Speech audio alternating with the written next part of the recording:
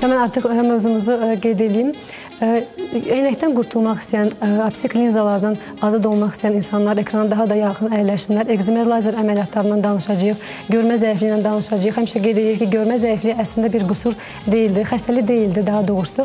Reflektiv bir qüsurdur ki, bu da düzgün həkim mütəxəssis tərəfindən müdaxilə olunduqda, vaxtında aşkar olunduqda tam 100% korreksiya oluna bilir. Bu gün də elə biz bu haqqda sizə məlumat verəcəyik. Nə vaxt ekzimer lazer əməliyyatları olunmalıdır, hansı yaşda artıq mümkündür, hansı insanlar ekzimer lazer əməliyyatları əməliyyatları etmək olmaz. Bu kimi bir sıra e, bir sıra sualları bizim həkim mütəxəssisimiz cavablandıracaq. Mən artıq qonağımızı stüdiyamıza dəvət etmək istəyirəm.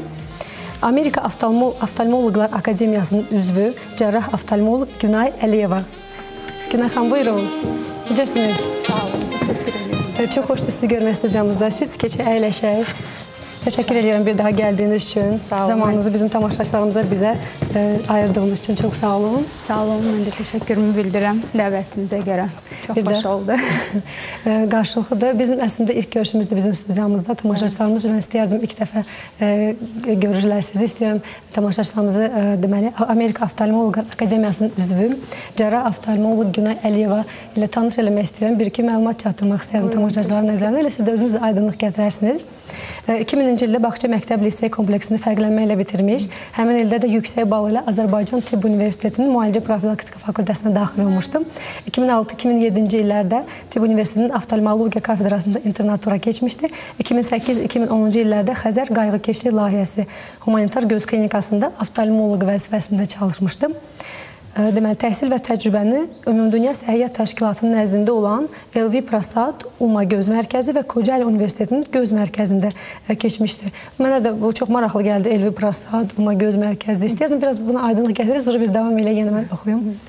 İlk öncə yenidən tamaşaçılarımızı salamlayıram, sizlərə minnətdarlığımı bildirəm. Həqiqətən ilk dəfədir, çox xoş oldu. Təşəkkür edirəm dəvətinizə görə layihəsi humanitar göz klinikasında oftalmoloq vəzifəsində çalışmışdım. Deməli, təhsil və təcrübəni Ümumdünya Səhiyyə Təşkilatının nəzdində olan Elvi Prasad UMA Göz Mərkəzi və Kocaeli Universitetinin Göz Mərkəzində keçmişdir. Mənə də bu çox maraqlı gəldi, Elvi Prasad UMA Göz Mərkəzi. İstəyirdim biraz buna aydınlıq gətirək, sonra biz davam elə yenə mən oxuyum. İlk öncə yenidən tamaşaçılarımızı salamlayıram, sizlərə minnətdarlığımı bildirəm. Həqiqətən ilk dəfədir, çox xoş oldu. Təşəkkür edirəm dəvətinizə görə. UMA Göz Mərkəzi, ümumiyyətlə təhsilim haqqında dedikdə danışmaq istərdim ki, LV Prasad Göz İnstitutuna mən qəbul olunmuşdum. Bu humanitar göz klinikasında təhsilimi bitirdikdən sonra bitirdikdən sonra qısa sahə üzrə ixtisaslaşmaq üçün ora qəbul olundum və bu mənim üçün çox fəxr edirəm buna görə və orada gözün refraktiv cərrahiyyə, gözün katarakta üzrə fakoemulsifikasiyası üzrə qısa müddətli fellowship proqramını bitirmişəm. Umay Göz Mərkəzi də Hindistanda çox sayılıb seçilən mərkəzlərdəndir. Orada refraktiv cərrahiyyə üzrə təhsilimi başa vurdum və göz dibi üzrə yenə də LV Prasadda qəbul olunmuşdum. Orada bitirmişəm fellowshipi və bir də medical retina, e, tibbi retina üzrə Kocaeli mərkəzində də e, təhsilimi davam etdirmişdim. Həqiqətən e, çox zəngin bir tərcümə halınız var, belə deyə təcrübə keçmisiniz. Mən tamaşaçılarımıza nəzərinə çatdırmaq istəyirəm ki, bir daha bizim qonağımız Amerika Oftalmoloqlar Akademiyasının üzvü, cərrah oftalmoloq Günay Əliyevadır və nəzərinizə çatdırım ki, bizim proqramımız canlı yayımlanır. Əgər e, bütün göz xəstəlikləri ilə bağlı, xüsusən ekzimer lazer əməliyyatları ilə bağlı, görmə zəifliyi ilə bağlı suallarınız varsa, canlı yayında Günay xanıma 404 31 10 nömrəsinə zəng edib suallarınızı verə bilərsiniz. Həmçinin bizim Instagram səhifəmiz aktivdir. Həkim alt xətt iş Instagram səhifəsinə də suallarınızı yazıb canlı yayında Günay xanıma e, ünvanlandıra bilərsiniz. Və mən davam edeyim tamaşaçıları bir daha sizinlə yenə də qeyd edim ki, tanış eləmək istəyirəm. Kataraktanın fakomülsifikasiya üsulu ilə cərrahiyyəsi, yenə də Hindistan, Elvi Prasad 2010-cu ildə, sonra tibbi retina, retina lazer fellow, yenə Hindistan 2012-ci ildə təcrübə keçmisiniz, refraktiv cərrahiyyə Uma göz mərkəzi Hindistanda. Bundan başqa botoks trening, trening. Mənə bu çox maraqlı gəldi botoks trening Amerika Birləşmiş Ştatlarında 2014-cü ildə. Bu barədə tam biraz məlumat verə bilərdiniz? Bəli. botoks botoks üzrə botulotoksin terapiyası üzrə treninqi mən Amerika Birləşmiş Ştatlarında Chicagoda keçmişəm və deyə bilərlər bəzi suallar ola bilər ki, oftalmoloq və göz və ya botoks hara? Əslində bizim müəllimlər orada deyirdilər ki, botoks hansı botulotoksinlə terapiyanı göz ətrafına ümumiyyətlə oftalmoloqdan yaxşı kim edə bilər? Çünki oftalmoloqlar gözün anatomiyasını bilməlidirlər və onlar düzgün yeritməlidirlər. E, bu barədə qısa bir deyim, bu haşiyədən çıxım, bəlkə biz qayıtmaya bilərik bu mövzuya.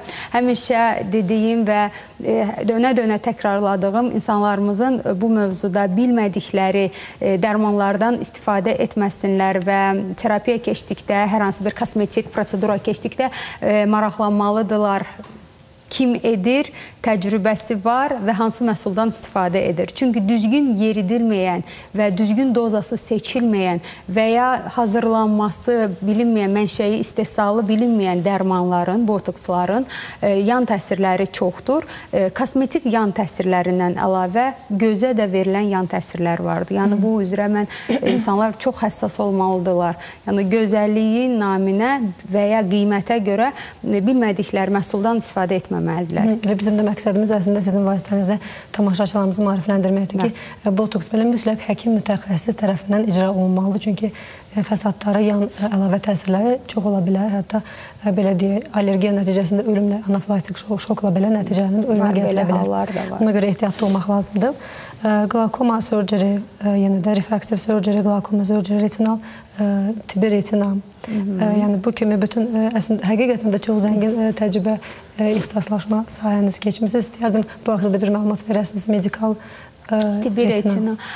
Tibbi retina həqiqətən göz dibi xəstəliklərinin, əsasən bizim tez-tez rastlaşdığımız diabetik retinopatiyaların və ya damar xəstəlikləri, işemik xəstəliklər nəticəsində göz dibində baş verən problemləri aradan qaldırmaqla məşğul olur və bu zaman biz düzgün diaqnostika çox vacib məqamdır. Vaxtında aparılmış və insanların vaxtında həkimə müraciət etmələri nəticəsində biz korluğun yolun qabağını ala bilirik. Amma burada biz duyarlı olmalıyıq ki, bizdə şəkər varsa, bizdə göz dibi e, probleminə əlavə göz təzyiqi varsa, ümumiyyətlə ümumi təzyiqimiz varsa, şəkərimiz varsa, biz oftalmoloqun nəzarətindən mütləq keçməliyik kontrol olaraq ildə bir dəfə keçəcək və sonra oftalmoloq bizə deməlidir ki, e, nə vaxt, nə zaman e, təkrar müayinəyə gəlməlidir e, və bu barədə həqiqətən hər il yeniliklər artır. Yəni oftalmologiya durmadan inkişaf edir və hərislik var ki, hər bir şeyi bilmək insan istəyir və ona görə tibbi retina üzrə mən ixtisaslaşmanı LV Prasadın göz dibi mərkəzində keçmişəm. Retina və lazerla bağlı olan olan treninqlarım mənim e, həyatımda çox vacib e, bir dönəmdir. Və e, bundan əlavə vaxtaşırı hər il e, yəni çalışdığım qədər e, Amerikada oftalmoloqların e, illik görüşündə iştirak edib orada retina kurslarında e, çal, e, iştirak edirəm. Ən sonda deyərdim e, noyabr ayında da çox mənim üçün e, dəyərli bir oldu ki, e, İsraildə Tel-Əvivdə biz Sauraski tibb mərkəzində tibbi retina üzrə çox e, vacib bir kurs keçdik. Çox onların da e, e, onların e, belə deyək Yəni onların da təcrübələri ilə, bəli, təcrübələri ilə bölüşdük, yiyələndik, bölüşdük. Biz öz təcrübələrimizi onlar bilir. Yəni durmadan yenilənmək, amma əsasən də bizim odur ki, diaqnostika vaxtında olmalıdır. Ona görə biz e, oftalmoloqa vaxtında müraciət etməliyik. Yəni bu çox vacibdir. Həmçinin e, uşaqlarda, böyüklərdə də bir şikayət olduqda, uşaqlarda hər dəfə qeyd edilir ki, şikayət olmadıqda belə yeni doğulmuş gündən artıq ə, e, müntəzəm olaraq uşaq oftalmoloqun müayinəsindən keçməlidir və bir daha nəzərinizə istəyirəm ki, əziz tamaşaçılarımız, bizim proqramımız canlı yayımlanır. Göz xəstəlikləri ilə bağlı, xüsusən də ekzimer lazer əməliyyatları ilə bağlı suallarınız varsa Günay xanıma 404 31 10 nömrəsinə zəng edib suallarınızı verə bilərsiniz. Həmçinin Instagram səhifəmiz aktivdir. Həkim alt xətt iş Instagram səhifəsinə də suallarınızı yazıb göndərə bilərsiniz və bir daha nəzərinizə çatdırım. Qonağımız Amerika Oftalmoloqlar Akademiyasının üzvü cərrah oftalmoloq Günay Əliyevadır. Və Günay xanım keçək əsas ə, mövzumuz olan eynəkdən, ə, optik linzalardan azad olmaq üçün ekzimer lazer əməliyyatlarından, gözün re refraktiv ə, qüsurlarından ə, nə, necə baş verir və hansı insanlara olar ekzimer lazer əməliyyatları?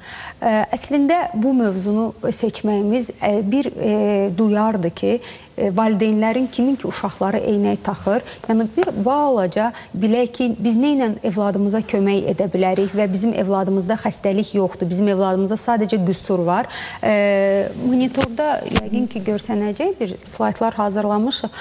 Sadəcə mən də bir qısa məlumat vermək istərdim ki, göz qüsuru gözün ön-arxa oxunun normadan uzun və ya qısa olması nəticəsində baş verir. Mümkün olarsa da operatorumuza yaxından göstərər, bizim maketin üzərində daha aydın izah eləyər. mert Bəli. Göz qüsuru gözün ön arxa oxunun uzunluğunun belə deyək normadan uzun və ya e, qısa olmağı nəticəsində sınan şüaların hansı ki mərkəzdə baş verməlidir. Bu şüalar e, öndə və ya arxada alınır və ona görə biz uzağı və ya yaxını zəif görməyə başlayırıq ki, biz eynək taxmalıyıq. Eynək Hı. nəticəsində biz taxanda eynəklə həmin öndə və arxada olan şüaları gətiririk mərkəzə. Deməliyik ki, bu xəstəlik deyil, bu sadəcə qüsurdur və bu gözün quruluşudur, quruluşudur və insanlar müsbət və ya mənfi dedikləri müsbət, müsbət hipermetropiya, mənfisi miyopiya xəstəlik kimi bilirlər. Əslində yenə də siz də verilişin əvvəlində çox düz qeyd elədiniz ki, bu xəstəlik deyil, bu qüsurdur. Əgər bizim evladımızda bu varsa, buna faciə kimi biz baxmamalıyıq. Biz sadəcə düzgün yolu seçməliyik. Düzgün yol nədir? Əgər bizim uşağımız eynək taxırsa, biz onun kontrolunu vaxtı-vaxtında aparmalıyıq və həkimin dediyindən əlavə özümüz də bilməliyik ki, göz gigiyenasına riayət etmək lazımdır. Göz gigiyenası bizim üçün nədir? Göz gigiyenası uşaqlarımızın yaxına oxuma yükünü normal paylaşmaqdır. Bütün günü yaxına oxumaq göz əzələrinin fizioloji e, fizioloji inkişafını ləngidir və artıq göz başlayır yaxını görməyə, uzağı görə bilmir.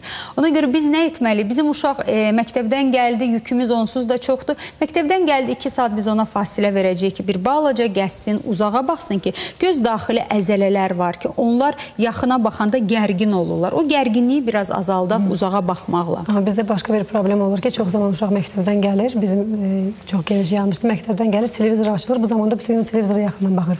Biz bu mövzumuza davam edəcəyik. E, Günay xanım, bizim bir telefon zəngimiz var, qəbul eləyək. Alo. Alo, salam aleyküm. Salam. Hər vaxtınız xeyir, həkim. Hər vaxtınız xeyir. Buyurun, sualınızı verin. E, mən bir sualım var. Mən elə bir Rusiyada apresi olmuşum 2014-cü ildə. Və mənə dedi ki, elə bil bu şey nədən eynəkdən azad olarsan. Ki, həm yəni ikisi birlikdə oldu. Həm səhvlik, həm sağ görmə. Ki, yəni yəni də yəni yaxşı nə, nəticə görmədim.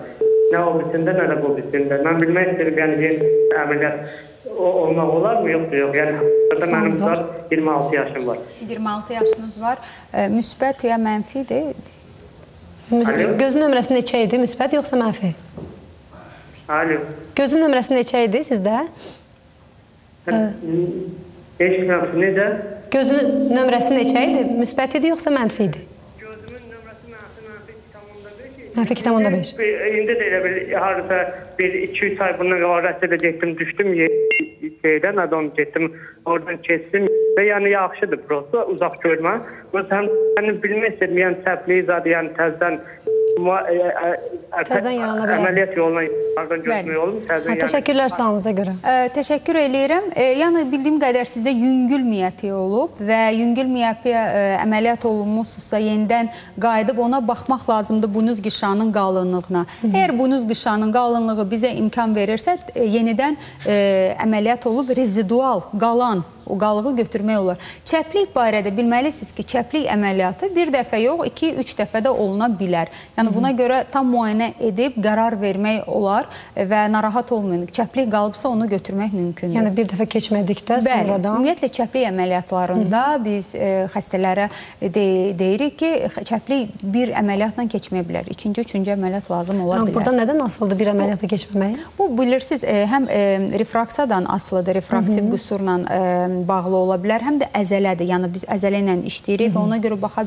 bilər ki, ikinci dəfə ehtiyac varmı insana Hı -hı. E, əməliyyatdan keçsin yoxsa yox? Hı -hı. Günay xanım, bizim daha bir telefon zəngimiz var. Hı -hı. Samirə xanım səhv eləmirəmsə. Samirə xanım, buyurun.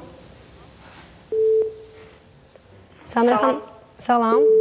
Salam, ə, doktoru salamlayıram. Doktor, bir sualım var. Mənim gözümün birində katarakt əməliyyat olub, e, linza qoyulub, gözüm görür. Amma digər gözümə deyirlər həm tənbəldir, həm də göz dibimdə nəsə çapıq var.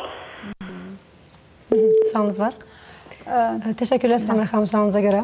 Ə, Təşəkkür eləyirəm. E, Ola bilsin ki, sizin kataraktadan əvvəl sizin o gözünüz yaxşı gördüyünə görə siz o çapığı bilməmisiniz. Vaxtında da həkimə getmirik və göz dibi müayinə olunmur və bu tənbəllik yaranır. Hı -hı. Mən çox yaxşı belə yerinə düşdü. Mənim keçən həftə bir pasiyentim var idi. 20 yaşında aşkar eləyiblər ki, uşaqda tənbəllik var. Halbuki Hı -hı. valideyn dediyinə görə e, illik poliklinika müayinələrindən keçib və müxtəlif yoxlanma var. Amma heç bir zaman aşkar olunmayıb və onlar e, təsəvvür eləyin ki, 20 yaşında biz tənbəlliyi müalicə edə bilmirik. Biz ə, əslində beyinlə göz arasında əlaqə 7 yaşına qədər ə, effektin verir. No, ə, 12 yaşında da olsa biz onu müalicə eləyirik. Biz eynəyin taxmalıdır və bu valideyn çox pərişan idi. Hətta mənə deyirdi ki, Günah xanım, götür mənim oğlumu da bir efirdə səsləndim ki, yəni bu qədər duyarlı olmaq lazımdır. Biz uşaqlarımızı oftalmoloqun nəzarətində saxlamalıyıq. Hətta problem yoxdursa və özümüz şəxsən maraqlanmalıyıq ki, bu uşağın hər bir gözündə görməsi nə qədərdir, refraksiyası nə qədərdir. Yəni bu qədər müayinələrdən keçib, amma valideyn bilməyib ki, uşağında görməsi zəifdir. Və tənbəllik belə bir mövzudur ki, xanımın dediyi çapıq məsələsi, e, yəqin ki, göz dibində gözün fokuslaşdığı sarı ləkə sarı nöqtə nahiyəsində çapıq var. Hı -hı. Və sarı nöqtədə çapıq olduqda artıq e, görmə analizator tam işləyə bilmir Hı -hı. və informasiya beyinə ötürülmür. Və ötürülmədikdə bu göz tənbəl göz olaraq qalır və biz də onu bilmirik. Hətta çapıq olduqda biz onu artırma şansımız azdır və və ya refraksion qüsuru var. Bir göz əla görür, o bir gözdə müsbət və ya mənfi var və ya qarışıq astigmatdır və bu göz tənbəl gözdür. Niyə görə? Çünki biz vaxtında bilmirik və -hı. Sağ gözün hesabına, bir gözün hesabına görür həmişə. Ona görə nə edirik? Biz vaxtında aşkar etməliyik. Əgər tənbəllik varsa, müsbət və ya mənfi nəticəsində e, və bu müalicə olunmayıbsa, onda biz refrakt, e, refraktiv cərrahiyyə ilə görməni artıra bilmirik. Yəni eynəklə nə qədər artırsa, eynəkdən e, əməliyyatdan sonra da o qədər görmə verə bilirik biz insanlara. Yəni bir e, bilməliyik ki, eynəklə bizim görməmiz tamdırsa, axırıncı sıra belə deyək 100% görürsə, əməliyyatdan sonra da görməmiz bu qədər olacaq. Günah xanım, biz e, ekzimer lazer əməliyyatlarını özümüzə davam eləyəcəyik, amma bizim daha bir telefon zəngimiz var. İstəyirəm tamaşaçılarımızın suallarını cavablandıraq. E, Sabir bəy, e, Sabir bəy buyurun. Sabir bəy eşidirik sizi, buyurun. Alo. Bəli, sualınızı verin. Salam. Həkim gözlə əlaqədardır, zəng eləmişdim. Buyurun sualınızı verin, eşidirik sizi. Gözün həkim belə torluq şahsında ikinci dərəcəli distrofiya, bir də atrofiya firgen xəstəliyi var.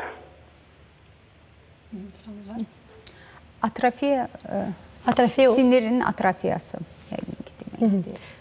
Təşəkkürlər Sabir bəy sualınıza görə. Ə, çox hər il ə, belə izlədiyimiz gen terapiyası, e, kök hüceyrələri terapiyasının araşdırdığı bir məsələdir. Torlu qişa distrofiyası. Torlu qişa distrofiyası torlu qişanın qazanılmış genetik olaraq hüceyrə səviyyəsində gedən dəyişikliklərdir və e, hal-hazırda e, müxtəlif gen terapiyalarda araşdırmalar var və nəticələr var e, ki, bu barədə e, ki, hər hansı bir gen terapiya köçürülməklə hüceyrələrin bir balaca görməsini artırmaq olar var. Bizim e, hörmətli e, pasiyentimizdə e, baxmaq lazımdır göz dibinə. Atrofiya varsa, həmişə deyirik ki, atrofiyanın müalicəsi yoxdur, sinir bərpa olunmur, amma biz baxmaq istəyirik, olan görməni saxlayaq heç olmasa olan görə.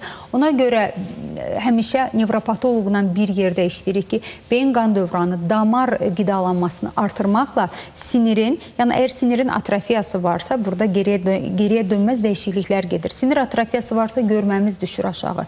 Bizdə hər də həm də distrofik problemlər olduğunu deyir. Ona görə biz bu sinirin qidalanmasını artırmalıyıq ki, olan görməmizi saxlayaq. Çox təəssüf olaraq ki, bundan artıq hal-hazırda belə irəliləyişlər yenə də deyirəm var, nəticələr də var, gen terapiyası ilədir, amma onların hələ bütün dünyada tətbiq olunmağına başlanılmayıb və belə xəstələrimiz də çoxdur. Ona görə vaxtaşırı kontrol müayinə olunmalıdır. Yəni ürək e, pessimistik qoymamalıyıq kənara ki, e, biz artıq görmürük, e, əlacı yoxdur. Yox, sadəcə olaraq kontrol müayinə və yenə deyirəm nevropatoloqla birgə kombinə müalicə və müalicə getməlidir ki, göz dibinin qidalanmağını biraz artıraq. Hı -hı. Çox gözəl və əziz tamaşaçılarımızla bir daha nəzərinizə çatdırmaq istəyirəm ki, e, bugünkü qonağımız Amerika Oftalmoloqlar Akademiyasının üzvü, cərrah oftalmoloq Günay Əliyevadır. Efirimiz canlı yayımlanır. 404 31 10 nömrəsi zəng edib suallarınızı verə bilərsiniz. Həmçinin Instagram səhifəmiz aktivdir. Həkim alt xətt iş Instagram səhifəsində suallarınızı yazıb Günay xanımı ünvanlandıra bilərsiniz. Və bizim daha bir telefon zəngimiz var. Ehtiram bəy. Buyurun Ehtiram bəy. Yox, yox. Ehtiram bəy, buyurun eşidirik sizi canlı yayımdasınız. Ha, eşidirsiniz xanım. Bəli, bəli, canlı yayımdasınız, eşidirik. Mənim gözümdə qadın, mənim gözümdə göz sinirinin atrofiyasıdır, xəstəliyidir. Yeni dediyimiz mövzulardan. Göz, gözümün dilində. Eşidirsiniz xanım? Bəli, eşidirik, bəli. Aha. Ha. Təşəkkürlər Ehtiram bəy. Gözümün dilində göz sinirinin atrofiyasıdır, xəstəliyidir. Müayinə olubdu, belə diaqnoz qoydular. Aha. O, təşəkkürlər ə, sualınıza görə. Əslində siz danışdınız Danışdıq və bilməliyik ki, atrofiyan səbəbləri nədir? Atrofiyan səbəbləri beyin mənşəli də ola bilər, göz mənşəli də ola bilər. Göz mənşəli qara su kimi tanınan qlukoma xəstəliyi nəticəsində olur. Bu da çox vacibdir. Kiminsə nə, e, yəni ümumiyyətlə ailə ailə belə şəcərəsində deyək, qara su yəni qlokoma göz təzyiqi varsa, mütləq olaraq həkimə daha həssas olmalıdırlar. İldə bir dəfə kontroldan keçməlidirlər. Yəni heç bir şikayət olmasa belə, əgər bəli, bəli, e, yəni bu genetikdir. Varsa, göz təzyiqi. Bəli, çünki göz sinirində o qədər rast gəlirik ki, e, gəlirlər e, məsəl üçün bir gözünü artıq itirilib, o biri gözün də e, hardasa müalicə alıb, deyir həkim dərman yazdı, kömək eləmədi. Keçən il görürdüm, bu il artıq görmürəm. Mən başa salıram ki, həkim sizə düzgün elib dərman yazıb, siz onu tökməmisiniz. İndi olan sinirvizi də itirirsiniz. Yəni atrofiya baş verir qlaukomaya bağlı olaraq. Ona görə mütləq vaxtında həkimə müraciət etməliyik. Yəni biz olanı saxlamalıyıq, olan görməni. Bir var itirilmiş görməklə gəldik dedikdə ancaq əl hərəkəti, 50 sm görmə, yəni bu artıq itirilməkdir görmə. Ona görə biz istəyirik ki, normal görməmiz olsun. Problem də varsa, o problemi biz həll edirik, biz saxlayırıq onu. Sadəcə olaraq vaxtında dərmanları tökmək lazımdır. Bir də səslənmək istərdim. Kimdə qlaukoma varsa, dərmanlar ömürlük hər gün eyni vaxtda, eyni saatda tökülməlidir. Yəni bu çox vacibdir. Yəni buna xəstələrin, insanların, e, xəstə pasiyentlərin o belə də intizamlı olmağı çox vacibdir. Həkim yazdı, verdi, amma siz tökməsəz artıq hər gün sinirin bir hissəsini itirirsiniz. Geriyə dönməyən dəyişikliklər. Ona görə qlaukoma diaqnozu qoyulan və ümumiyyətlə oftalmoloqun verdiyi dərmanlara ciddi yanaşmaq lazımdır. Nə öz başına həkimlə məsləhətləşməmiş tökməmək olmaz dərmanlar uzun müddət, nə də həkimin dediyindən tez kəsmək olmaz. Yəni bunu siz e, e, oftalmoloqla bizimlə məsləhətləşəcəksiniz. E, çünki o dərmanlar bizim istifadə etdiyimiz ümumiyyətlə antibiotik steroidlər də daha çox və steroidlərin uzun müddət davam e, olunması göz daxili təzyiqin qalxmağına e, və kataraktanın əmələ gəlməsinə gətirib çıxarda bilər. Buna görə hər bir şey e, yerində, dozasında düzgün olunması üçün həkimlə məsləhətləşmək yəni, lazımdır. Gözünüzdə adi qripdən sonra belə deyək, əgər ağırlaşma veribsə, iltihab əlamətləri varsa, yenə də həkim oftalmoloqa mütəxəssisə müraciət etməyiniz məsləhət görür ki, bu kimi fəsadların qarşısı alınsın. Qrip demişkən, mən bir mövzu ilə də e, duyarlı insanlarımıza e, virus konjunktivitləri haqqında ki, daha həssas olsunlar. Kiminsə bir gözündə qızartı, su axırsa, bilin ki, burada virus konjunktiviti ola bilər. Bir gözdən o biri gözə keçir. Bu gözün qripidir. Yəni mən ümumi danışıram. E, biz ona görə belə ehtiyatlı olmalıyıq. Bizdə bu problem varsa dərhal həkimə müraciət eləyəcəyik. Ətrafımızı qorumalıyıq. Ətrafa keçirməməliyik, çünki bu keçici ola bilər. Əllərimizi tez-tez yumalıyıq. Əli ilə gözün təmasını, kontaktı azaltmaq lazımdır. Bu əsasən hava damcı və kontakt yolu ilə keçir. Yəni bu da mövsümlə əlaqədar olaraq yayılma baş verib hal-hazırda da. Ona görə ehtiyatlı olmaq lazımdır bu barədə də. Günah xanım, bizim Instagram səhifəmizdə də suallar çoxdur. Bilavasitə mövzumuzla əlaqədar olan bir sual vermək istəyirəm. Mənim mənfi 5 e, görməklə normal təbii doğuş mümkündürmü? Çox maraqlı bir sual oldu. Çox maraqlıdır. E, mənfi 5 dedikdə, yəni yenə də dediyim kimi miopiyadır. E, qısa deyim ki, miopiya zamanı göz alması daha uzun olur. Fokus öndə alınır, mərkəzdə alınmır.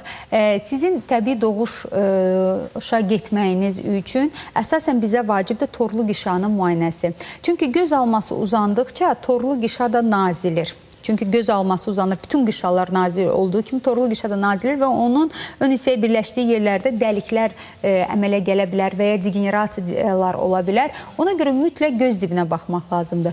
Göz dibi sağlamdırsa, heç bir aktiv dəlik yoxdursa, hətta mənfi 20 olsa belə təbii doğuş etmək olar. Yəni ona görə heç bir narahatçılığa səbəb yoxdur. Gözəl. Günah xanım, bizim daha bir telefon zəngimiz var. Banu xanım, buyurun, eşidirik sizi. Sizi. Banu xanım, buyurun. Ee, salam, mən Günay xanıma sual vermək Buyurun, istərdim. buyurun, salam. Mənim 18 yaşım var. 2-ci sinifdən eynək taxıram və gözümdə eyni zamanda e, deməli astigmatizm də var. Bilmək istəyirəm, 100% görməmi əldə edə bilərəmmi? Sualınız var. Təşəkkürlər Eynəklə- görə baxın. Okay, mən ümumi məlumat verəcəm. Hı -hı. Astigmatizm nədir? Bundan əlavə başlayım Hı -hı. ki, aydın olsun. Astigmatizm da görmə qüsurunun bir növüdür ki, buynuz qişanın şua sındırması vertikal və horizontal istiqamətdə müxtəlif olur. Fokusun biri öndə, biri daha öndə baş verir. Yəni astigmatizm budur. E, sizdə əgər astigmatizm varsa və siz eynək taxırsınızsa, əgər eynəklə siz 100% görürsünüzsə, əlbəttə ki, ekzimer lazer əməliyyatından sonra siz 100% görəcəksiniz. Bunun üçün siz tam müayinə olunmalısınız. Buynuz qişan qalınlığı bizim üçün çox vacibdir. Buynuz qişan qalınlığı və göz dibinin vəziyyəti. Yəni ekzimer lazer əməliyyatı tam sağlam insanlara həyata keçirilir. Yəni göz qüsuru olan, göz xəstəliyi olanlara keçirilmir. Ona görə çox vacib məqamdır ki, çox hər bir pasiyenta individual yanaşma ilə göz dibi yoxlanılmalıdır. Gözün ön segmenti yoxlanılmalıdır. Buynuz qişanın vəziyyəti yoxlanılmalıdır. Ola biləcək və qarşıda yarana biləcək riskləri almaq üçün e, hər bir e, toxuma ayrı-ayrılıqda yoxlanılmalıdır. Və bizim eynəklə görməmiz nə qədərdirsə, biz ekzimer lazerdən sonra o qədər görməni insanlarımıza bəxş edirik. Və ona görə əsas məqsəd odur ki, vaxtında eynək taxaq biz. Eynəkdən qorxmayaq, eynəkdən utanmayaq, kompleks etməyək. Yəni eynək mütləq taxacağıq. Taxaq, sonra eynək istəmərsiniz bir estetik əməliyyat kimi ekzimer lazer oluna bilərsiniz. Xüsusən də uşaqlarda ə, mən istərdim doğru bilinən bir yanlışlığa aydınlıq gətirəsiniz. Uşaqlarda çox valideynlər deyirlər ki, körpələrə, uşaqlara eynək taxmaq olmaz, düzgün deyil, hətta həkim yazdıqda belə istifadə etmirlər. Bu əslində nədir, hansı fəsadlara gətirib çıxarır? Fəsadlardan ən böyüyü tənbəlliyindir e, tənbəl göz olmağı. Yəni artıq biz 15 yaşında, 18 yaşında eynək də qoysaq bu görmə artmır. 5%-dırsa 5% qalır. Çünki bu görmə e, artımı gör, gözün üzərində işlənilməyib. İkinci fəsadımız ola bilər, çəplik yarana bilər çəplik və zəif görmə. Biz ona görə istəyirik ki, erkən dövrdən aşkar edək. Yəni hər bir zəifliyi, qüsuru olan insana biz eynək təyin etmirik. Buna görə göstəricilər var, ölçülər vardır. Tam müayinə olunduqda və e, belə deyək, göz dibinə baxıldıqdan sonra artıq qərar verə bilərik ki, bəli, biz eynək taxaq, taxmayaq. Burada yaş faktoru, e, yaxına işləmə yükü və rifra, e, anomaliyanın hansıdır, müsbətdir, mənfidir, astigmatdır. Bunlar hamısı vacib rol oynayır bizim üçün. Yəni Hı eynəkdən biz e, valideynlər çox duyarlı olsunlar Hı və e, gigiyena, gözün gigiyenası mütləq əməl olunmalıdır. E, eynək qüsur problemi olan və ya olmayan insanlar yaxına yükü azaltmalıyıq uşaqlarımıza. Məktəbdən sonra biz onlara deyə bilmərik ki, gəl otur dərs oxu günə. 2 saat fasilə verəcəyik. Stol üstü lampamız olmalıdır. İşıqlandırma düzgün olmalıdır. Qamətimiz düz olmalıdır və idman. İdman haqqında danışmaq istərdim. İdman çox vacibdir. Bizim göz əzələləri, gözün daxilindəki göz almasının daxilindəki əzələlər üçün idman çox vacibdir. Yəni idman və təmiz hava. Biz onu belə e, biz ancaq yük veririk, amma idman barəsində təmiz barə e, təmiz hava haqqında ya, ya, belə deyə unuduruq. Ona görə vacib məqam odur ki, biz uşaqlarımızın hər bir şeyin bərabər paylayaq. Heç olmasa gündə 1 saat təmiz havada və idmanla məşğul olmalıdır. İdmanla məşğul olduqda göz əzəlləri tam fizioloji olaraq e, belə deyək də e, gərginliyini azaldırlar və artıq normal e, optik qüsur, qüsurun əmələ gəlməsinin qarşısını alırıq. Və bir məsəl üçün biz bilərik ki, çoxlu bizim tələbələrimiz var ki, tələbələr deyir ki, Tələbələr deyir ki, məktəb vaxtından mən yaxşı görürdüm. Universitetə abituriyent olanda ondan artıq məndə zəiflik baş verir. Bu nədir? Bu yenə də stasionar e, miyopiyadır və stasionar miyopiyanın əmələ gəlməsinə səbəb düzgün gigiyenamıza riayət etməməkdir. Bütün günü yaxında bir ildə olsa biz universitetə hazırlaşanda düzgün oxumuruq, qaranlıqda oxuyuruq, maşında oxuyuruq. Bunlar hamısı göz əzələlərini stressa salır və artıq da bizdə miyopiya baş verir. E, e, miyopiya baş verir, qüsur əmələ gəlir. Ona görə düzgün hər bir şeyə riayət etməliyik. Əgər biz eynəkdən azad olmaq istəyiriksə, biz sadəcə 18 yaşından sonra qərar verə bilərik ki, biz sizi eynəkdən azad edə bilərik, yoxsa yox. E, Aha. Bizim e, bir telefon zəngimiz var. Günah xanım, onu da qəbul edək. Mirisa bəy, buyurun. Buyurun Mirisa bəy, eşidirik sizi. Biraz an, an, aydın olmadı. Yenidən əlaqə yaradarlar. Daha ə, sual eşidilmədi. Təzədən yenə əlaqə yaradıb eşidərik inşallah. Deməli, biz siz danışdığınız idman növü əslində bir çox xəstəliklərin qarşısını almaq üçün təbii ki, fiziki aktivlik, idmanla məşğul olmaq önəmlidir, amma mən bunu hər dəfə qeyd edirəm ki, idman dedikdə ağır fitnessdən məşğul olmaq nəzərdə tutulmur. Bu əksinə fəsadlar verə bilər. Gəlin ona da bir aydınlıq gətirək valideynlər xüsusən də uşaqlarında, elə böyüklərdə də təbii ki, bu xəstəliklərin qarşısını almaq üçün hansı idman növünə məşğul olmağı məsləhət görürsünüz? Çox gözəl sual verdiniz. Həqiqətən təşəkkür eləyirəm. Bu barədə də məlumatlandırmaq istərdim. Bir yanlış var ki, biz deyirik ki, gözü zəifdir, idman olmaz ona. Bu Hı -hı. çox yanlış bir şeydir. Bunu biz oftalmoloqlar qərar verə bilərik. Mən göz dibinə baxacağam. Əgər göz dibində heç bir fəsadı yoxdursa, sadəcə bizim balamızın e, mənfisi varsa gözündə, yəni torlu qişa nazikdir, normadan daha uzundur, e, torlu qişa nazikdir idmana gedəcək, sadəcə travmadan qorumalıdır. Travmadan biz hər bir kəs öz gözünü qorumalıdır, amma zəifliyi olanlar daha qorumalıdır. E, e, istənilən növ idmana məşğul ola bilər. Əlbəttə ki, ağırlıq, o daxili basınc dediyimiz bir, e, yəni gücə salmamaq üçün zəifliyi olanlar bu idman növlərindən uzaq olmalıdır.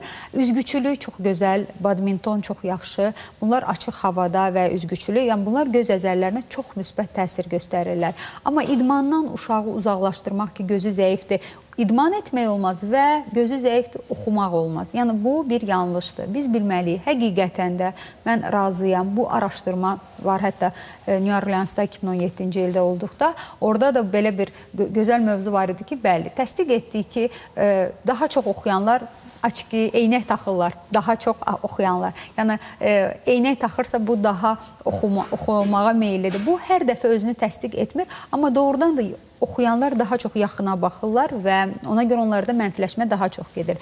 Və biz valideynlər qorxuruq ki, uşaq çox oxuduqda daha çox zəifləyər gözü. Yox, biz sadəcə oxumanı, gigiyenanı riayət etməliyik. Yəni oxudu, 5 dəqiqə, 3 dəqiqə biz deyəcəyik ki, balamız uzağa baxsın. Və boş yerə biz kompüterlardan, planşetlərdən, telefonlardan çox ə, səslənirəm, valideynlərdən uzaq edək. Sadəcə uşaqlar çox istəyirsə motivasiya edə bilərik və onlara ancaq şənbə, bazar günləri verə bilərik. Amma həftə arası onların o qədər dərs yükləri var ki, İnanın, birinci sinif uşağı da gəlir, deyir ki, doktor vaxt yoxdur gəlməyə və hazırlığa gedir. yəni bu çox yük var və bu bizim fizioloji olaraq inkişafa mənfi təsir göstərir və ona görə mütləq olaraq əlavə yaxına məsafələrdən biz evladlarımızı uzaq durmalıyıq. E, çünki bu hətta mənfisi olmayanlarda spazma gətirib çıxardır. Baş ağrısı verir uşaqlarda, baş gicərlənmə verir, ürək bulanma verə bilər. Ona görə telefonları, e, kompüterləri bu uşaqlarımızdan yığışdırmalıyıq. Hər şey qədərində olmalıdır. Elə oxumaq da çox oxuduqda uşaq fasilə ilə, fasilə ilə olur, kreativ olmur bu uşaqda müəyyən problemlər, psixoloji yarana bilər. Gələcəkdə ehtiyatlı olmaq lazımdır. Bizim e, telefon zəngimiz bərpa olundu. Səhv eləmirəmsə Mirisa bəy. Buyurun. Mirisa bəy, eşidirik sizi. Yenə alınmadı deyəsən. Bizim və tamaşaçılarımızla bir daha nəzərinizə çatdırmaq istəyirəm ki, proqramımız canlı yayımlanır, belə texniki qüsurlar olur təbii ki. Bir mövzuya mən toxunum. Bizim eynək e, utanmağımızdan və eynək e, bu son vaxtlar ümumiyyətlə mən həmişə rastlaşmışam, e, amma ki bir də görürsüz ki, 36 yaşı var, eynək qüsuru var, eynək taxmalıdır və özü də bilir, amma taxmır. 5% görməklə maşın sürürük biz. Yəni bu həqiqətən də acınacaqlıdır və mən çox təəssüf edirəm, daha çox kişilərdə rast gəlinir bu hal və onlar eynək utanmaq və ya eynəkdən ə, əsasən utanmaqla mən əlaqələndirirəm. No, ə, demək istərdim ki, 5% görməklə bizim gecə görməmiz daha da aşağı düşür və biz avtomobil sürməklə biz hər kəsə təhlükə yaratmış oluruq. Ona görə də bu işə məsuliyyətlə ciddi yanaşmalıyıq və bilməliyik ki, öz həyatımızı və ətraf həyatı təhlükəyə atmış oluruq. Əgər eynək istəmirsinizsə, yəni eynəkdən çıxış yolu nə e, təklif eləyə bilər? Ya eynək, ya da ki, e, ekzimer lazerdan e, ekzimer lazerla gözünüz uyğundursa eynəkdən azad ola bilərsiniz. Kontakt linzalar məsləhət bilmirəm. Kontakt linzaları sevmirəm və ona görə e, çox e, ehtiyatlı olmaq lazımdır. E, çünki kontakt linzalarda infeksiya riskimiz var, gözün buynuz qişanın qidalanmasının pozulması riski var, quruluq riskimiz var və kompüter qarşısında olduqda qüsuru olan insanlarda e, və ümumiyyətlə kompüter qarşısı və kontakt linza istifadə etdikdə optik linzalardan gedir. Bəzən də kosmetik əlbəttə ki, istifadə olunur. Onlar gözün yaş təbəqəsini qurudurlar və biz hətta kompüterin yaxına məsafədə işləyəndə fikrimiz işdə olduqda bizim e, dəqiqədə qırpma, gözümüzü qırpma e, miqdarı azaldığına görə artıq quruluq yaradır və və üstə gəl kontakt linza. Təsəvvür edin gözdə nə qədər stres yaratmış oluruq və bu axşama yaxın göz qızartılarına gətirib çıxardır, yorğunluğa çıxardır, görmə itiliyinin aşağı düşməsinə gətirib çıxardır. Ona görə e, diqqətli olmalıyıq, e, damcılardan, yəni e, düzgün istifadə etməliyik və kontakt linzalardan uzaq durmalıyıq. Elə bizim bir sıra xanım tamaşaçılarımız bu sual vermişdi, siz cavablandırdınız ki, kontakt linzaları, kosmetik linzalar taxmaq ziyanlıdırmı? Əlbəttə. Yəni ziyanlı olduğunu qeyd etdiniz. Və əziz tamaşaçılarımızdan bir daha nəzərinizə çatdırmaq istəyirəm ki, bugünkü qonağımız Amerika Oftalmoloqlar Akademiyasının üzvü cərrah oftalmoloq Günay Əliyevadır. Əgər suallarınız varsa 404 31 10 nömrəsində bütün növ göz xəstəlikləri bağlı suallarınızı Günay xanım ünvanlandıra bilərsiniz. Həmçinin Instagram səhifəmiz aktivdir. Həkim alt xətt Instagram səhifəsinə suallarınızı yaza bilərsiniz. Və bizim bir telefon zəngimiz var. Təranə xanım. Təranə xanım, buyurun. Alo, salam. Salam. Salam. Təranə xanım, buyurun sualınızı verin. Aha. Xanım, mənim qızımın 12 yaşı var. Sol gözündə elə bir tənbəl göz qoyublar. Bir gözünə 90% görür, bir sol gözü, gözü 6%-dir. Nə vaxt İndi bir, bir, biz həkimə aparmışıq deyirlər, ey, bir həkim deyir ki, eynək taxmaq görməsi artır. Bir həkim də deyir ki, olmaz eynək taxmalı uşaq. Neyniyək biz ona? Sualınız var. Ə, nə vaxt bilmisiniz tənbəllik haqqında? Necə? Tənbəllik diaqnoz nə vaxt qoyulub sizə? 12 yaşı var. 12, bu, bu, keçən ay aparmışıq, yoxlatdırmışıq. Dedilər göz tənbəl, uşaq dedi gözüm ağrı apardıq, dedi tənbəl gözdür gözü. 6% görür. Təşəkkürlər Təranə xanım sualınıza görə. Həqiqətən də siz çox gec müraciət etmisiniz. 12 yaşında artıq gözün inkişafında dayanıb. Sadəcə olaraq bilmək lazımdır, tənbəlliyin səbəbi nədir? Tənbəlliyin səbəbi refraksion qüsurdursa, biz mütləq eynəkdə verməliyik. Əlbəttə o eynəklə təzə-təzə görməsi dumanlı olacaq və sağlam gözü bağlamalıyıq. Və bilməlisiniz ki, xanım, biz gecikmişik artıq yəni effekti 6-7 yaşında bildiyimiz qədər effekti ala bilməyəcəyik, amma mütləq eləməlisiniz çünki hələ uşaqdır. 6% görmə çox azdır biz istəyirik, heç olmasa 40%-ə çatsın. Yenə deyirəm, qüsura baxmaq lazımdır. E, mənfidir, müsbətdir, qarışıq astigmatdır. Yəni onun növlərinə baxmaq lazımdır. İstənilən halda eynək lazımdır. İstənilən xüsusən də yenə biz bir daha təkrar edirik ki, xüsusən də uşaqlarda bir göz zəif görə bilər. Bu zaman heç bir şikayət olmaya bilər görmədən. Ona görə də yeni doğulmuş müddətdən artıq uşaqlar daim müntəzəm olaraq Müt həkim oftalmoloq nəzarəti altında olmalıdır. Çünki siz bunu hiss eləməyə bilərsiniz. Bir əlavəm var. Bu tənbəllik barəsində. Tənbəl gözü aşkar etdikdə vaxtında, məsəl üçün biz müalicəni yazırıq. Burada müalicə belə deyim də, eynək və göz, sağlam gözü bağlamaqdır. Hər hansı bir balıq yağı, vitamin, bunlar əladır göz üçün, çox yaxşı. Amma bunlar tənbəllik müalicəsində belə bir müstəsna rolu yoxdur. Əsas rol bağlamaqdır və valideynlərimizdən daha çox məsuliyyətli olmalıyıq biz. Həkim yazdı, verdi ki, bağlayın 3 ay. Bəzi valideynlər həqiqətən də vaxtı-vaxtına bağlayır və biz effekti görürük ki, görmə artıb uşaqda. Bəziləri bağlamır və deyirlər ki, doktor, Biraz bağladıq, biraz bağlamadıq. Uşağın səbri çatmır. Uşağın səbri olmamalıdır belə bir bə. Yəni biz uşaqlarımızı motivasiya etməliyik. Nə iləsə e, onları maraqlandırmalıyıq ki, sən gözü bağladıqda, eynəyi taxdıqda mən e, nəsə edəcəm. Sən yəni ki, marağı olsun ki, həvəslə bağlasın bu bir. İkinci bir məqam eynəklərdən uşaqlarımızın kompleksi varsa, biz uşaqlarımıza özlərinin seçdiyi göz e, çərçivələri seçməliyik. Bu çox vacibdir. Uşaqlar utanmamalıdır. Valideyn seçimini etmirik biz. Biz seçirik uşaqlarımız üçün seçimi özləri etməlidir ki, kompleksləri olmasın, həvəslə məktəbə eynəklərin taxsın və hər kəs kompliment desin ki, sizə çox yaraşır. Yəni onlar həvəsləndirmək lazımdır ki, onlar həvəslə taxsın. Eynəklə dostlaşdırmalıdır Əslində gözündə problemi olmayan insanlar belə dəbdir deyə Aksesuar aksesuar bəli. kimi istifadə edirlər həqiqətən də. Ümumiyyətlə göz tənbəlliyinə mən istəyərdim bu adındandır, nədəndir göz tənbəlliyi dedikdə çox vaxt valideynlər bunu ciddi qəbul eləmirlər. Yəni elə o baxımdan da siz deyirsiniz evdə bağlamırlar, gözü biraz Bəli. məsuliyyətsiz yanaşırlar. Mən istəyirdim bu göz tənbəlliyini daha aydın izah eləyərdi ki, fəsadı necə yaranır, nə əmələ gətirə bilir uşaqlar. Ə. Əsasən göz tənbəlliyi və ambliopiya bizdə el- deyirik göz tənbəlliyi. Göz tənbəlliyi iki gözün birində qüsur olduqda yaranır. Və ya iki gözün ikisində də qüsur ola bilər. Birində daha çox olsa, o göz daha zəif göz olur. O işlək göz olmur və yaxşı görən gözlə biz görürük və vaxtında aşkar olunmur və bu gözün beyinlə əlaqəsi, yəni tam aparılmır. Çünki fokus yenə də dediyim kimi em, e, e, əsas məsələ budur ki, fokus mərkəzdə alınmır. Fokus ya öndə alınır, ya arxada alınır, e, baxır e, refraksion qüsurun növündən. Və bu göz belə də qalır. Göz dibi tam sağlamdır, heç bir xəstəlik yoxdur. Sadəcə refraksion qüsur var və biz eynək taxmamışıq, vaxtında gözü işlətməmişik və tənbəllik yaranıb. Və çəplik məsələsi, çəplik var, e, çəplik korreksiya olunmur, eynək taxılmır və artıq burada e, tənbəllik yaranır. Və bunun fəsadı budur ki, biz eynəkdən azad olmaq istədikdə biz eynəkdən azad eləyə bilmirik insanı. 5% görürsə ondan artığını və ya e, başqa dərəcədə artıra bilmirik. Ona görə biz istəyirik ki, eynəklə biz maksimal dərəcədə rahat görək, çox görək ki, e, müəyyən yaşa çatdıqdan sonra əməliyyat olunmaq istəsə, eynəkdən azad olmaq istəsə biz ona görmə verə bilərik. Günay xanım, Instagram e, suallarına səsləndirmək istəyirəm. E, uşağın 2 yaşı var, ağlayır, gözündən yaş gəlmir. Nə problemdir, nə məsləhət görürsünüz? 2 yaşı var. Bəli. Ə, Mən əlaqələndirirəm ki, əgər 2 yaşı varsa, heç bir işıqdan qorxma, qızartı yoxdursa, bəlkə bir balaca isterik ağlamadır. Yəni bir balaca ə, belə psixoloji durumdur. Ə, ə, belə ə, tam ə, müayinə etmək üçün, yəni yaş gəlməsi olsa mən deyərdim kanalı yoxlaya, amma gəlməməyi mən fikirləşmirəm ki, orada hər hansı bir problem olar, amma istənilən halda müayinə etmək lazımdır. Çünki bir balaca reflektor reflektoru buynuz qişanın e, yoxlamaq lazımdır. E, Sekresiya necə gedir? Ya- Yaş vəzdə problem var, yoxdur. Amma daha çox valideyn bir balaca fikir versin bunu ki, nə zaman ağlayır, bəlkə nəsə istəmək istəyir, prosta ağlamağı gəlmir, sadəcə Bir digər bir şikayət eləyir. yoxsa yəqin ki, artıq kaprizə bənzəyir. Bizim də. e, bir telefon zəngimiz olmalıdır. Alo, Etibar bəy, buyurun. Salam aleyküm, hər vaxtınız xeyir olsun doktor. Salam. Olun. Doktor çox üzr istəyirəm. Bayaqları səsləndirdiniz də. Amma bir zaman eşitmək istəyirəm. O pik betni distrofiya.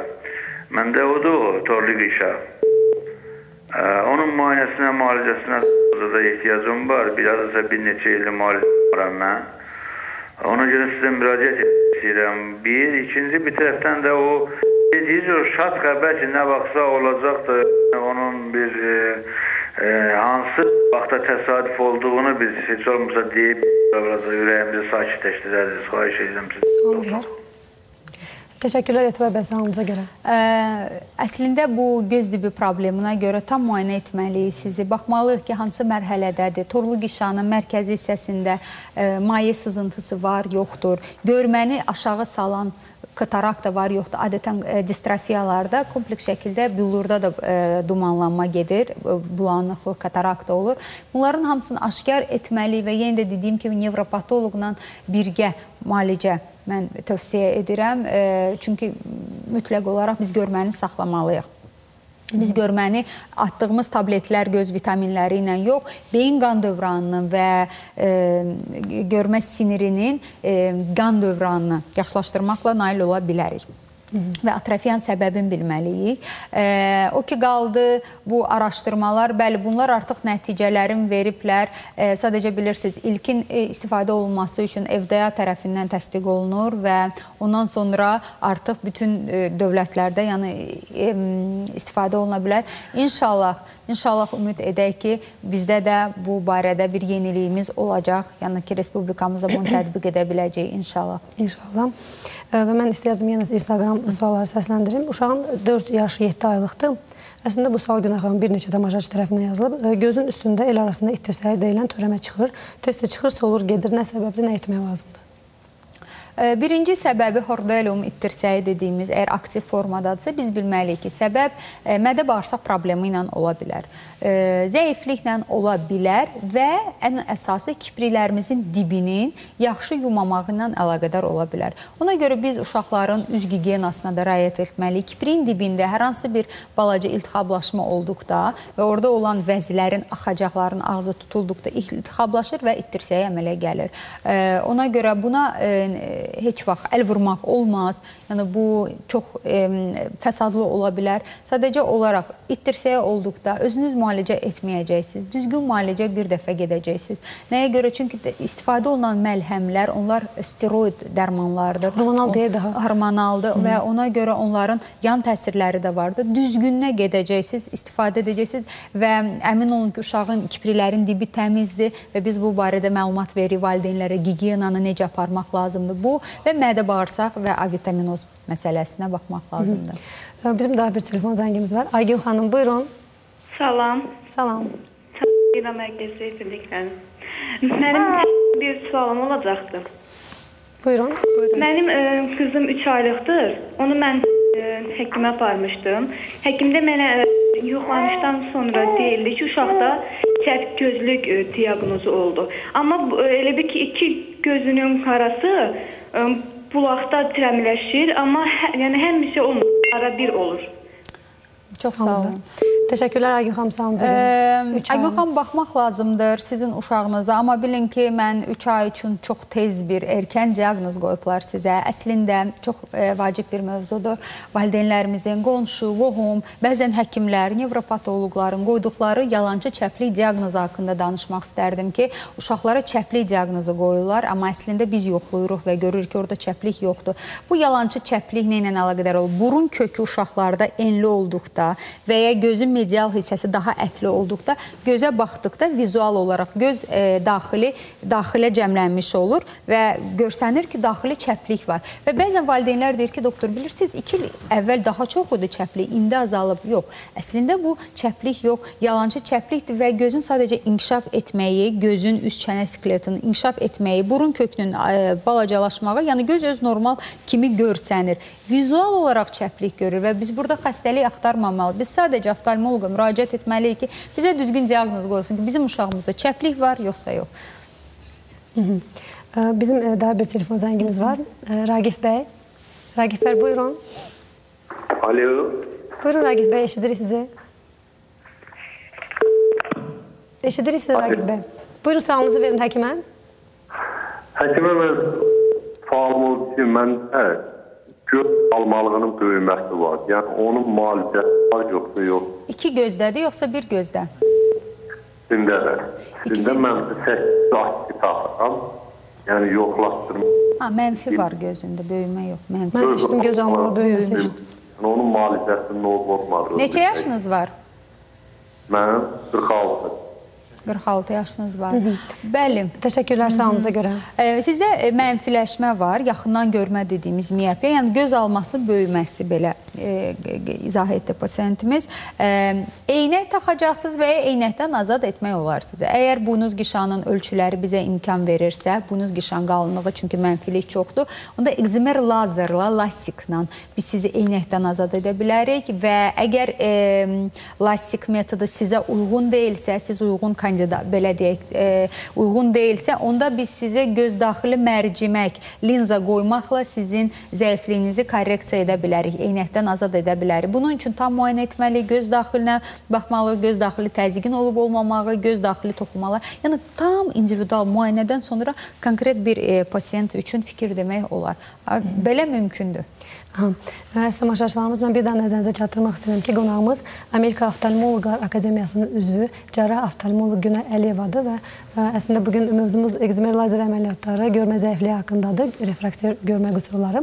Amma bütün göz xəstəlikləri bağlı suallarınız varsa 404 31 10 nömrəsinə zəng edə bilərsiniz. Həmçinin Instagram səhifəmiz aktivdir. Həkim Alt Xətt İş Instagram səhifəsinə suallarınızı yönləndirə bilərsiniz. Mən istəyirəm biraz mövzumuz haqqında da məlumat verək. Ekzimer lazer əməliyyatları haqqında. Əslində mövzu tamaşaçıların zəngini də istəyirəm cavablandırmaq? E, doğrudan da ekzimer lazer e, istifadə artıq 20 ildən çoxdur ki, bu metod istifadə olunur. Ekzimer lazer şüaları ilə buynuz qişanın qabarıqlığı düzəldilir. Yəni qabarıqlıq düzəldilməklə fokus gəlir mərkəzdə alınır.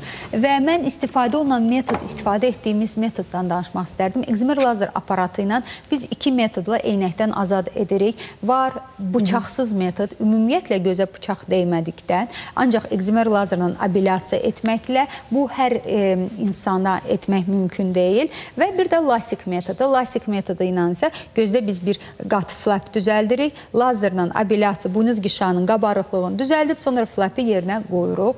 E, yeni metodlar da var. E, yeni lazerlar metodları ilə də istifadə olunur, yəni müxtəlifdir.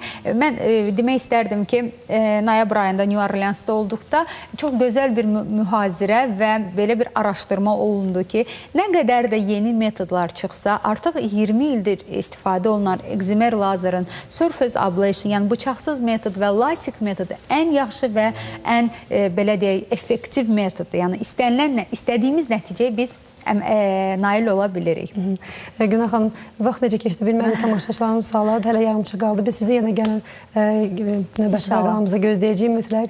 Mövzumuzu yenə davam etdirəcəyik, danışacağıq. Təşəkkür edirəm sizə bir daha gəldiyiniz üçün və əziz tamaşaçılarımız bir daha nəzərinizə çatdırmaq istəyirəm ki, qonağımız Amerika Oftalmoloqlar Akademiyasının üzvü cərrah oftalmoloq Günay Əliyeva idi.